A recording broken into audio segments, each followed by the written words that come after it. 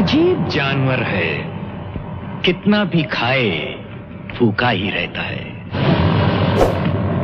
अजीब जानवर है। कितना भी खाए फूका ही रहता है।